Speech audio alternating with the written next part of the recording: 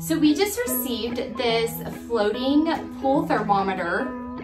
Check out the features of it. We're gonna um, put it in our bathtub and test it out because summer is right around the corner and we know how important it is to have um, the right tools that you need for your pool. So it seems like it's really, really nice and sturdy. I love how it sat it in there and it tumbled over, but then it sat itself back up. So it's really just floating on its own, doing a wonderful job at it. Kind of just staying afloat, doing its job. This is perfect, y'all.